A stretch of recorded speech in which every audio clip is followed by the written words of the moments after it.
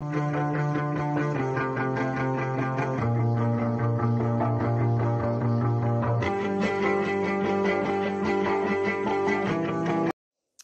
everybody. How are you today? Today we have an amazing guest, and probably most most of you know about her. She's food science babe. Um, her name is Erin, and we're gonna have her live today. We're gonna go through quite a few different questions about conventional versus organic things as well, things about GMOs as well, and how she's run her business and how she's grown as well. So I think a lot of you has asked me as well about that. So I've got her here. Um, during that time when I worked at that company, I actually was, you know, more of an organic food consumer. I, I believed at that time that organic was better and um, that's just sort of what I bought because I thought it was healthier and I didn't really question it. Um, and so I actually left that company and actually went to work for a more natural and organic company um, because that's sort of what I believed in at the time. And it, interestingly enough, when I worked at that company, I sort of started realizing kind of how arbitrary the organic and non-GMO and all those kind of labels were because um, it was a really small company, and so I was the only food scientist there. And so my role was to get their products non-GMO verified and organic certified. And so okay. just realizing kind of how it was just a lot of paperwork and it really, you know, the decisions were being made by marketing people and um, it didn't have anything to do with the fact that those labels made the product any healthier or any safer or anything like that. So that's kind of when I started questioning it. And then I still, like, I still, still believed it was, you know, healthier. I was like, I can, I can afford it. I'm still going to buy it.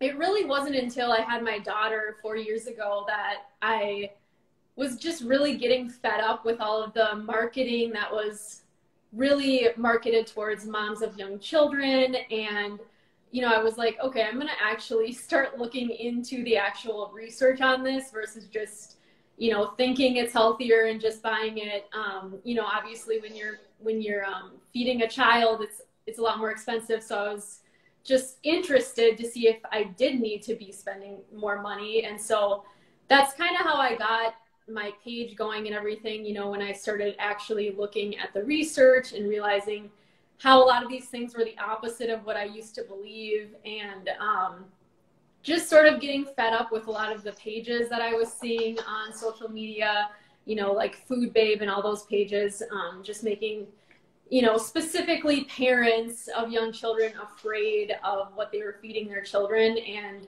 um, just a lot of the misinformation, you know, I had obviously worked in the food industry for quite a while at that point and just a lot of the you know the misinformation that they spread about the food industry as well. Um, so yeah i was just like hey i'm going to start a page and i had no idea if anyone was going to be interested or anything. So that's kind of how i got started.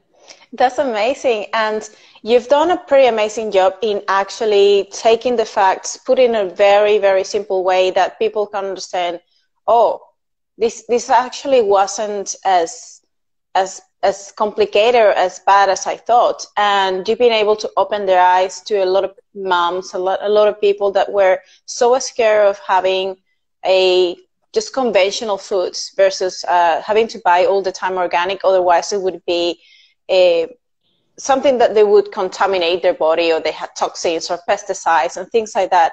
And I guess you've done a great job in that area where you jump in and say, look, it is fine, it is okay, it is no such big difference and it's not superiority on that. So what is actually food science when we think about the term uh, that you actually work in that role? What food science is for a lot of people that might not know what it is? It's it's a lot more like when people see food, you know, on the store shelves, we don't really um, realize how much is behind that product ending up on the shelf. And so, you know, there are so many different things that you can go into with food science. I mean, obviously, you can either go into industry or you can stay more on the research side. You know, um, I talked to a PhD ice cream scientist earlier um, a, a, couple months ago. And so, I mean, you can get really into just one, you know, like you can't believe how complex, you know, something like ice cream is. we eat it and we enjoy it, but so many of these things just, you know, all of the all of the chemical compounds that these foods are made up of, um, you know, and then when you're formulating something, you have to understand like how the different ingredients react with each other. Um, one of the biggest things with creating products for you know store shelves is making sure that they stay safe while they're on the shelf and they're not growing mold. You know, they're not going bad while they're on the shelf. So, I mean, one of the biggest things is just understanding like how to preserve foods if they're shelf stable or you know even if they're in the refrigerator making sure um, making sure they're safe by the time that a consumer gets it. And then, um, I mean, everything from not only developing the product, but then, you know, I've been involved in, in sensory testing, you know, where we have panels taste different things if we're trying to match something or if we're trying to, um, you know, makes, there's a lot of different sensory testing that goes on behind the scenes before you even get it to a store shelf. Um, and so, I mean, you can in larger companies, you can spend like, you know, an entire year developing a product before it even ends up on the shelf. And like a lot of times it doesn't even end up on the shelf because um, you know, we do testing and it, or, or it just doesn't work out like pricing wise. I mean, there's so many things that you have to take into account when you're developing a product. You know, it's like, it has to, it has to, um, you know, stay safe. It has to stay preserved. It has to taste good. It has to, you know, a lot of times you're also, um, as a food scientist, making sure that you're getting all the pricing information when you're getting ingredients in to make sure you're, if you have a specific price point you need to, you need to reach and stuff like that. So there's so much, it's, it's just crazy like how much goes on behind the scenes. Like when you go to the grocery store and you see all these, these, um, you know, products on the shelf, you don't realize how much is really behind that just in terms of making sure that it's safe, making sure also that you know all the information on the package is correct. Um, I do a lot of now that I work from home a lot more because I take care of my daughter. I do a lot of um, you know formulate, formulating, but then also I help companies um, get their nutrition facts panels figured out for their label for their packaging. So just all of the regulatory requirements that goes on um, from everything that has to be correct on the package and all that kind of stuff. So there's quite a bit, you know, that you can go you can go into as a food scientist, and then.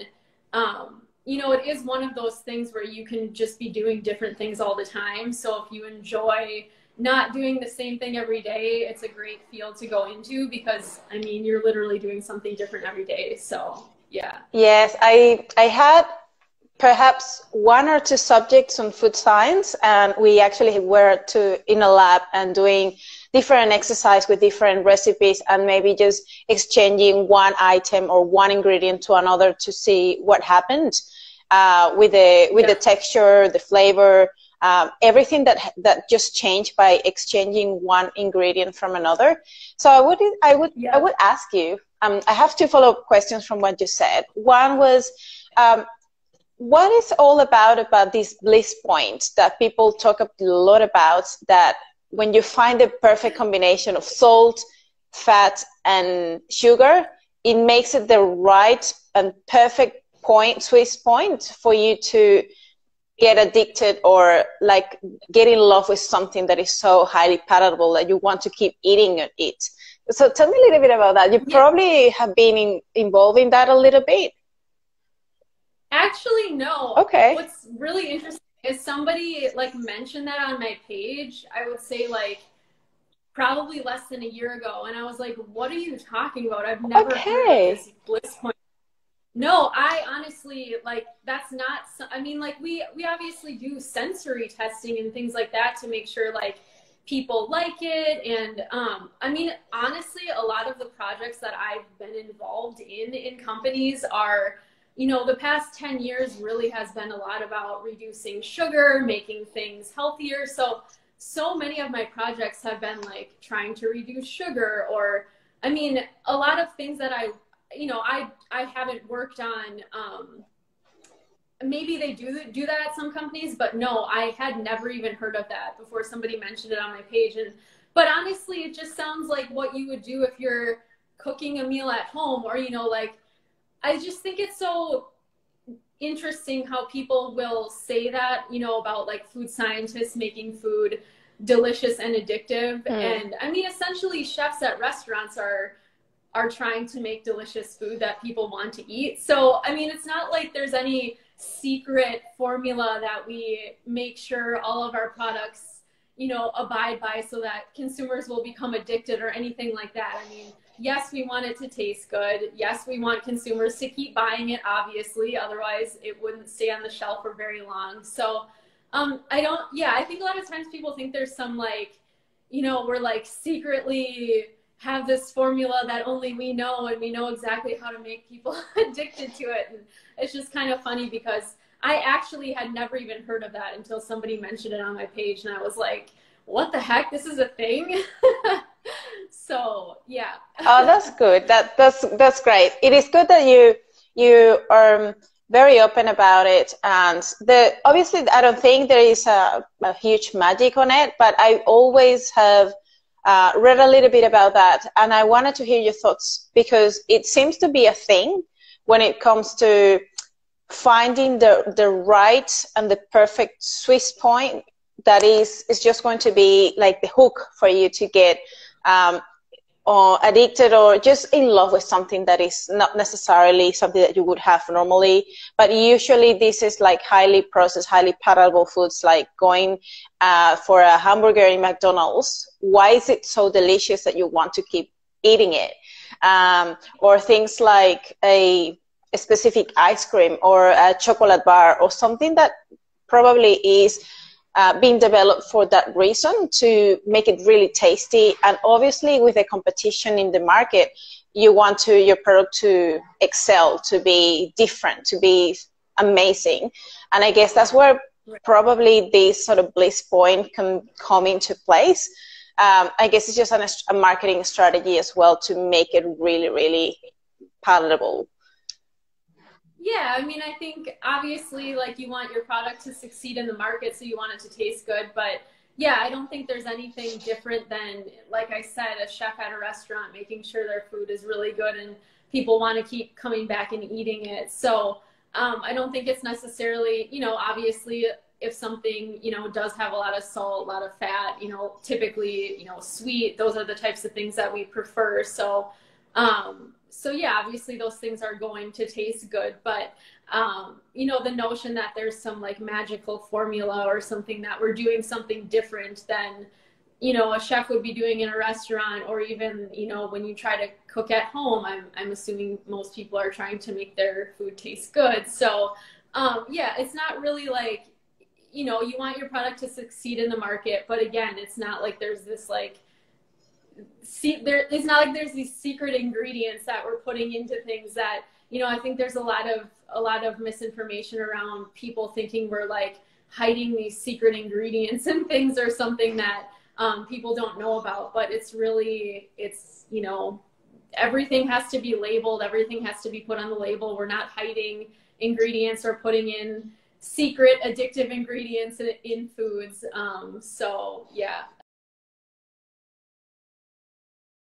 I had another follow up question. And what you mentioned a little bit about the processed foods and how you have to make sure you have the right preservative to make sure they have the shelf life and they know they're safe and all of that things. And a lot of people come yeah. to probably you, you've, you've got a lot of backlash on this uh, on the sense that, well, any product that you can read the labels and has more than one ingredient is going to be dangerous for you. It's, it's not going to be good for your health. What would you say about processed foods? Is there any anything that you think that could be something that you need to look for that is potentially dangerous for your health, like preservative, colorants, uh, additives, things like that, that you think can be represent a harm? Because a lot of people have the fear that if any preservative or any additive are in there, that's going to be a, a product that's going to perhaps in the long term it's going to affect your health or your immune system or anything like that yeah so i mean all these chemical compounds that are you know they have to be looked at as just that you know chemical compounds everything whether you you know whether you can pronounce it or whether you can't pronounce it it doesn't mean that just because you can pronounce it um, that somehow it's more safe than something you can't pronounce so all those sort of food mantras that go around just are really they're just nonsense. I mean, obviously it doesn't make any sense that if you can't pronounce it that all of a sudden it's unsafe. So, yes, you will see a lot of ingredients, uh, particularly a lot of the preser- preservatives that will be on the label that you might not be familiar with. You might not be able to pronounce them, but I think it's especially just kind of crazy that preservatives are the ones that get demonized because literally preservatives are making the food safe. Like they're making the food safe, safe safer for longer. Um, if those weren't being put in there, you know, it, it, it would be causing foodborne illnesses. Um, and so these things are really making food safer and they are at safe amounts. So the amounts that you typically have to put, you know, a lot of these different ingredients that you kind of see at the end of the label um, they're at, they're in there at safe amounts. They're in there at very very low amounts. Typically, they are ingredients that help to control for things like moisture or pH. So those are the two biggest things that you try to control for when you're trying to make sure something um, you know can't microbes won't grow on it. You have to control for moisture and pH. Those are like the two biggest things. And so, um, yeah, these preservatives, like just because you can't necessarily pronounce them or it's not something that you can necessarily buy from the grocery store or put in your food. Um, it doesn't mean that it's unsafe. And I know a lot of people have asked me, like, is there one ingredient that you would tell people to avoid? And I mean, there isn't really. Everything that, you know, is is being put in products, they are being put in there at safe levels. A lot of times, um, you know, a lot of times like the accounts like Food Babe and the people that try to fearmonger over single ingredients, you know, they're using rodent studies. They're they're using safety studies essentially, which are which are helpful to figure out what levels are safe. Um, but they're using those studies to scare people into thinking that these ingredients are unsafe when it's like they're being put in the products at so much lower levels than these studies that they're citing and um, so there's not even really one ingredient that I would tell people to stay away from. I mean, I think your overall health is going to have to do a lot more with, you know, your overall diet and lifestyle Absolutely. than it is just one specific ingredient or, um, you know, one preservative or, you know, making sure that, you know, one of the other food mantras that's out there is making, you know, like, oh, if it's over five ingredients, it's bad for you, which just doesn't make any sense. Um, you know, it, it doesn't matter how many ingredients are in there. That doesn't mean that it's all of a sudden unsafe. One of my favorite graphics is um, it says all natural banana, and then it has a list oh, of yes. all of the compounds that makes up a banana. And I don't think people realize that um, just like the most basic level, it's like literally everything we eat is made up of chemicals. And all of these chemicals have overlapping toxicities with these synthetic, you know, whether they're preservatives or additives.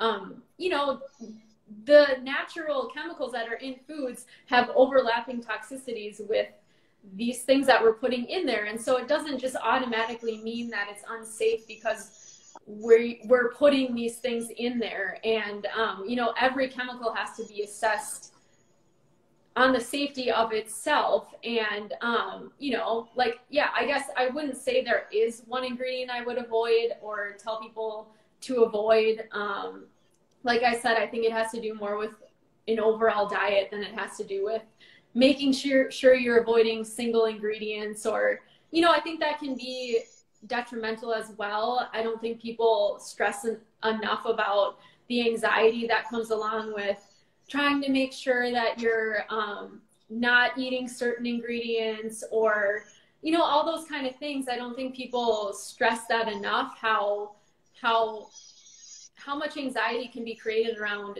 being afraid of your food when you don't when we have such a safe food supply like you don't need to be afraid of the food on on you know the shelf in the grocery store so. Yes i yes i completely agree. And i would say like we have everything everything can just kill you if you ate it in a in an amount that is completely uh, or outraging like if you ate or drank drank water and if you had water in excessive amounts that can kill you as well. Right. In the, it it has toxic levels. If you had like even vitamin D, you can't have just vitamin D right. on a daily basis just because uh, it is good for you or, or, because it's a vitamin.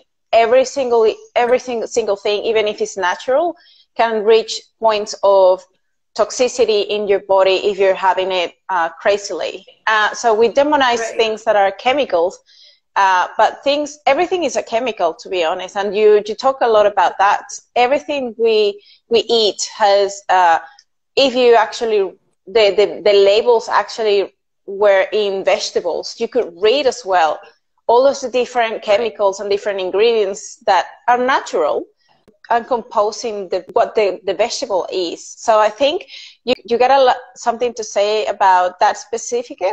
About the like synthetic versus natural that like if the chemicals that you see even in vegetables or fruit. Yeah. Yeah so i've posted this study quite a bit but it shows um, there's you know obviously there's tons of di- hundreds of different compounds in every single you know fruit and vegetable and if you would take those chemical compounds and use them you know like how they conduct safety studies with the additives that we put into foods and people fearmonger over them and say, well, they can cause cancer at these super, super, super high levels. Well, a lot of natural fruits and vegetables contain chemical compounds that could cause cancer at really high levels as well. We know that they aren't because we're not consuming them at those levels. So the same goes for the, these ingredients that we are adding into foods. Just because they can be toxic, like you said, at a, at a high dose, um, that doesn't mean that these really, really small doses that we're putting into foods at safe levels, um, they're not harmful at the amounts that we're consuming them in. So a lot of people's arguments when it comes to this sort of fall back onto the appeal to nature fallacy. And, um, you know, just because something is natural, that doesn't mean that it's safe. There's a lot of natural compounds that are very highly toxic. And so um, just to say that something is safer because it's natural, um, it's just it's not true because you know they're natural compounds and synthetic compounds. You know they we can't we don't know anything about a chemical's toxicity just based on the fact that it's natural or synthetic. So just because something is natural doesn't mean like it's gonna be safe or you can just have it um, limitless just because it, it is just going right. to have the label of being natural. And I think that's a, a word that is so much uh, overused and overrated uh, when it comes to marketing and putting things into label yeah. that says, "Oh, this is natural," and that therefore it is uh, it is going to go- be good for your health. And right. if it doesn't yeah. have the, that label, then it's not as good. Yeah, so natural has no FDA definition. There's it's not a regulated term. So when it like I would say just ignore that. I mean, yeah, it's purely marketing. It means nothing as far as the safety or the nutrition of the food goes. And then when you get into ingredients, you know, like flavors and colors, a lot of a lot of marketing on packages now will say things like um, you know, no artificial flavors or no artificial colors, and they'll have, you know, natural flavors and colors. And, you know, they're all going to be safe. But what's interesting about um, the fact that they're specifically calling out that there's no artificial and there's there's natural and for some reason consumers think that's better but in reality a lot of times like these synthetic colors and flavors and things like that um, they can they are more efficient and they're more sustainable to be created in a lab versus you know, like a natural flavor or a natural color, you're needing quite a bit of plant material to extract, you know, these colors and flavors. And that's a lot of times it's a lot worse for the environment than synthesizing these things in a lab. And a lot of times too, when it comes to the specific compounds that are created,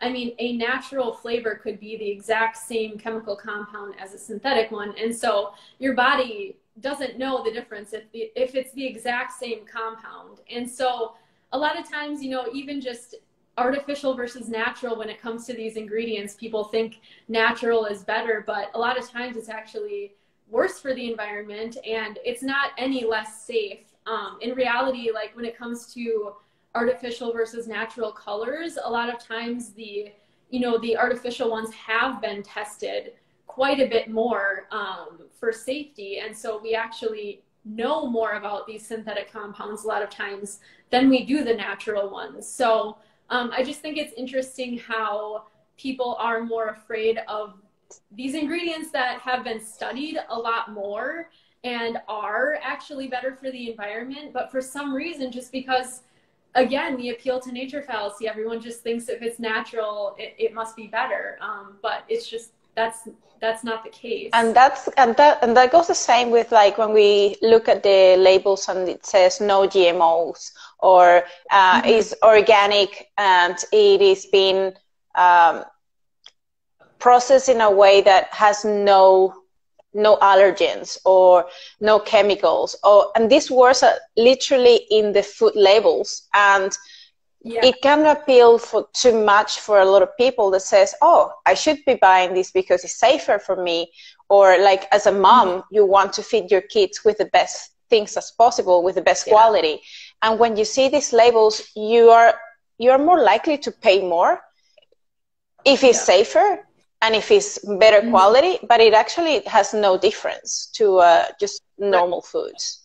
Yeah, so that's one of the biggest, probably like the biggest misconceptions I would say surrounding organic is that, um, you know, they market it as though it doesn't use pesticides, and so many people think that organic doesn't use pesticides, and um, you know, the whole, a lot of organic companies use that as their marketing. I mean um, they will vilify conventional and say like conventional is just covered in pesticides and um, it's just it's it's not true. I mean first of all organic can use pesticides. Um, they have to use they have to use mostly naturally derived pesticides. They can use some synthetic pesticides but um, again like all these regulations surrounding organic sound good to the consumer because again natural sounds better. So when you tell people that organic can only use natural pesticides they're like oh well isn't that a good thing? But it isn't necessarily a good thing because a lot of times um, you know the natural pesticides aren't as effective and so they have to be used at a higher rate. Um, you know, once again, just because it's natural, it doesn't mean that it's less toxic or better for the environment. So, you know, these natural pesticides have overlapping toxicities with the synthetic pesticides. And, you know, essentially, they just don't have many, have as many tools in their toolbox to be using. So, whereas conventional farmers have the ability to use a synthetic pesticide that might be more effective, might be less toxic, might be you know, less persistent in the environment, whereas the organic farmer can't use that. They have to use the natural one. And so, you know, these regulations aren't translating into, um, they're not translating into safer foods. They're not translating into more nutritious foods. I mean, we have a lot of studies backing that up, showing that, um, you know, it's organic foods aren't safer. They're not more nutritious. And in reality, organic farming is actually worse for the environment because it takes up to 40% more land. So that's the biggest reason why organic is um, going to be worse for the environment. It takes up more land. Um, they're not able to use GMOs, which do have a lot of environmental benefits.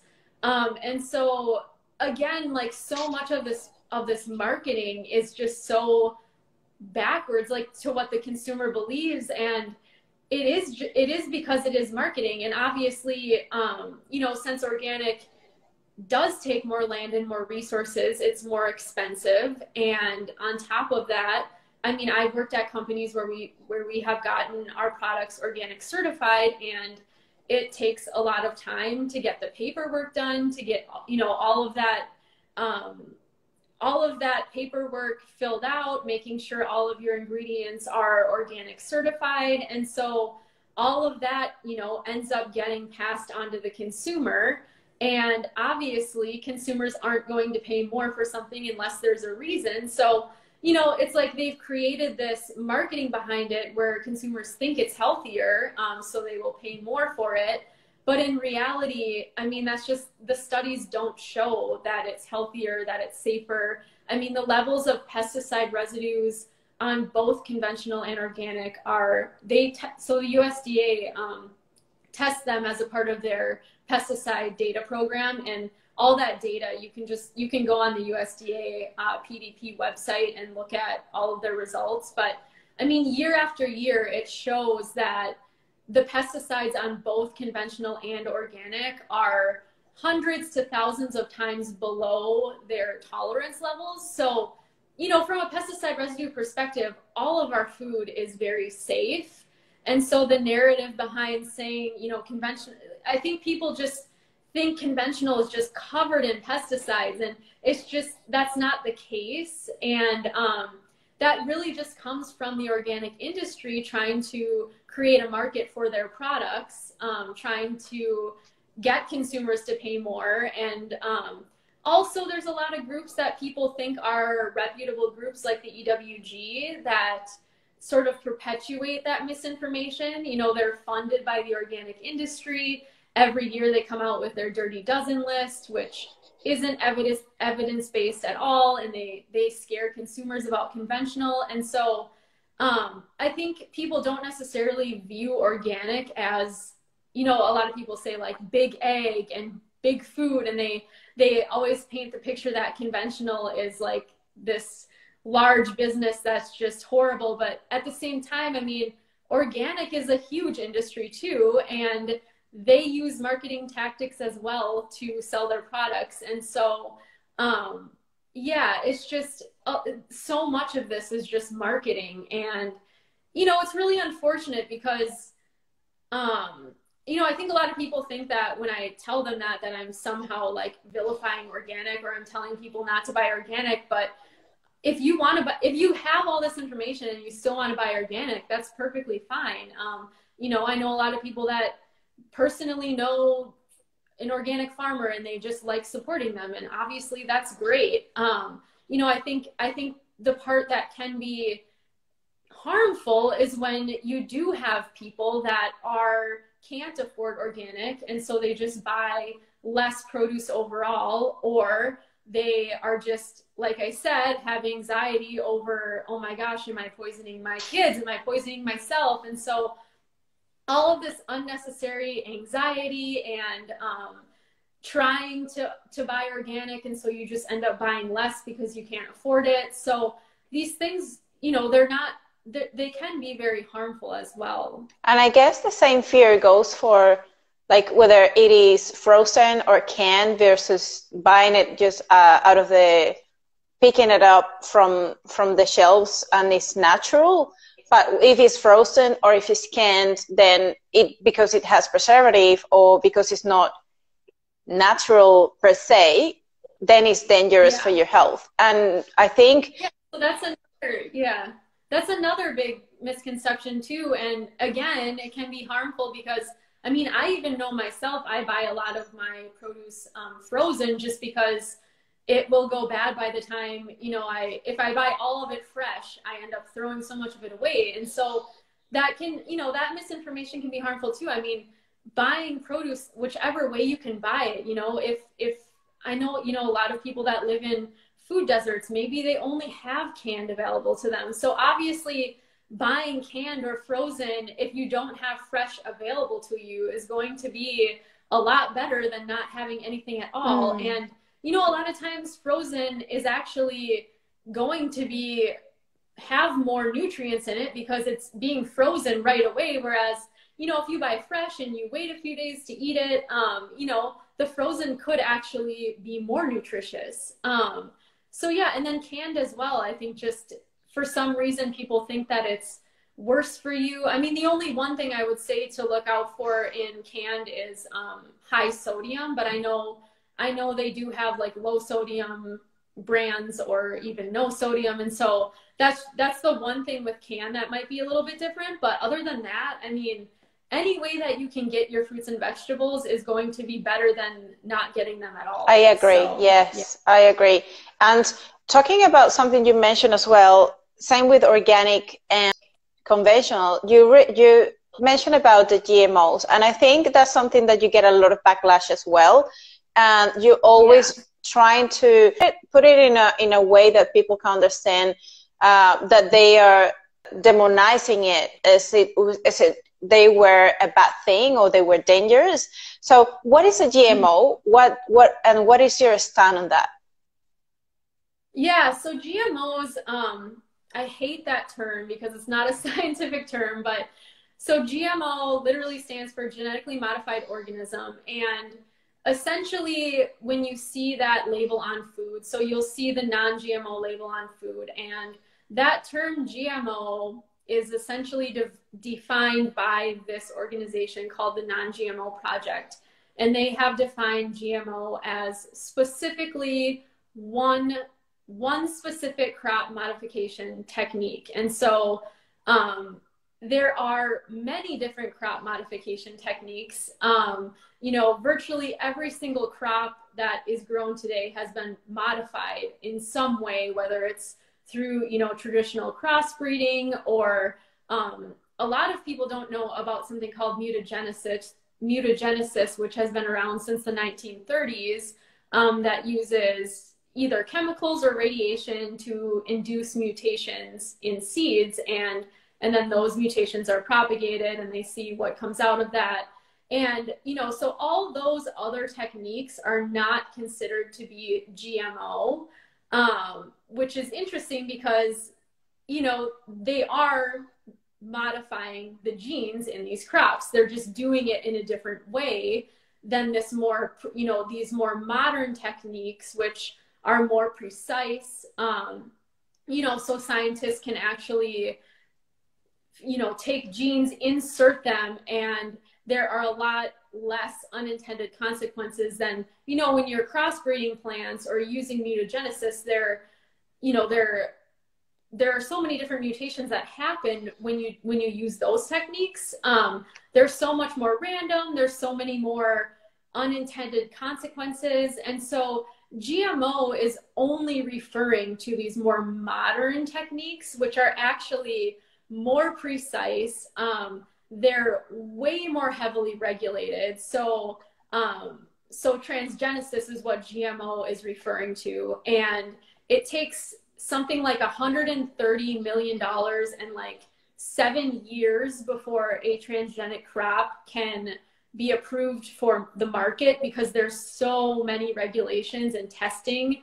that needs to go on before it can be approved. And so it's just when you understand, um, you know, exactly what modification is and and how all of these different techniques can, be used. And the one that everyone is afraid of is really the most precise, you know, the most tested, the most regulated um, it just really doesn't make any sense that you would be more afraid of that then you would be afraid of, um, you know, all these other ways that we've been modifying crops in the past. And um, I guess the point isn't to be afraid of any of them. When I tell people that, a lot of times they're like, oh, I'm afraid of mutagenesis now. And it's like, no, that's not the point.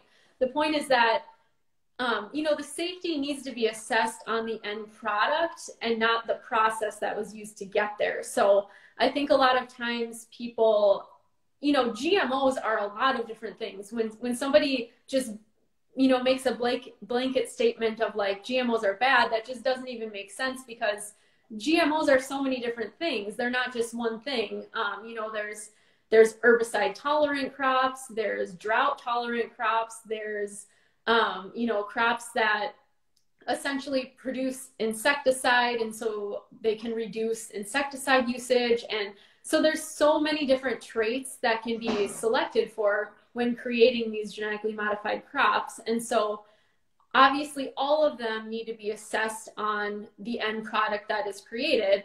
Um, and so it doesn't really matter, you know, what technique is being used to get there, as long as the end product is safe, um, which they are. I mean, it's a it's a global scientific consen- consensus that um, you know transgenic crops are just as safe and at least as nutritious, you know, as their non-transgenic counterparts. And so, um, it's just one of those things that has been in the media so much. And it's one of those things too where you know the people that understand the least about it are the most afraid of it. And so the more people learn about it i think you know they're like oh this is not this isn't what i really thought it was. And so you know my point of my page isn't necessarily to defend these things or promote you know like i'm not making any money from telling people that gmos are safe. I have no stake in in it whatsoever. And so when people sort of accuse me of like being a shill or um, getting paid to promote gmos just it, it's funny to me because i would get paid the same amount as if i didn't promote GMOs because I'm literally not getting paid for anything, you know, to say anything on my page. And so, you know, my whole point is that at, at one point in my life, I was afraid of these things as well. And when I learned more about it, um, it helped me to not be afraid of food, not have so much anxiety around food. And so, um, you know, that's kind of my whole point is just educating people and whatever they decide to do with that information is fine. If they still if they still want to buy products with the non-GMO stamp, like that's up to them. But um, I think it's good that you know they have the actual science-based information so that they can make decisions based on science rather than just these fear-based marketing labels that you see everywhere. And, so. and at least at the end of the day, you've done your job of trying to be as, as an educator and communicator provide the facts, provide the science. I want to make sure you know what is true and what is not. And at the end of the day, it is your life, is your is is your body, uh, is your family. But obviously, you want to um, work a lot on on the awareness and make sure they know what is the the actual truth behind these these these names or these words that people are afraid of because most of the time it sounds different it sounds weird it sounds complex and because they don't understand about it they are scared they uh they fear mm-hmm. because they just don't know uh, but they won't do a research or they don't they don't yeah. they won't look look it up and try to find out what is yeah. what it says and i think too i mean obviously like these non-GMO labels that are on so many different things now, they're not helping, you know, they're not helping to educate consumers. So when when a consumer that doesn't really understand what GMO means, they see a label that says non-GMO, you know, most consumers are going to think, well, GMOs must be bad. Why would they have these labels that say specifically non-GMO? And so I think a lot of it has a lot of the fear specifically of GMOs has be, has come about since those labels have been on foods. Um, otherwise, people probably wouldn't even wouldn't even know what you know what genetically modified is or um, have a reason to be afraid of it. And so I think those you know that that specific organization, if you go onto their website, they say that they're educating consumers, but they're really not. I mean having that label on a package isn't telling the consumer anything helpful about what GMOs are or um, you know it's not telling you anything helpful about the food. And the other thing too that I wanted to mention about the non-GMO label is it's not a mandatory label. So that's I think another misconception that consumers think that everything that's non-GMO like has to have that label. And so they just assume that if food doesn't have that label it must be a GMO which isn't true. Um, that label is something that companies pay for um, essentially to market their products if their product is non-GMO. But you know, I worked at a popcorn company. There is no GMO popcorn, and we paid for this non-GMO label even though there is no GMO popcorn. And so it can be put on products that don't even have a GMO counterpart. And so that's another misconception. There's only 10 GMO crops. And I think I think people think that if it doesn't have a non-GMO label, it must be GMO, but um, that's not true either. And it doesn't really matter because, as I said, even if even if they were GMO, we wouldn't need to be afraid of them anyways. So.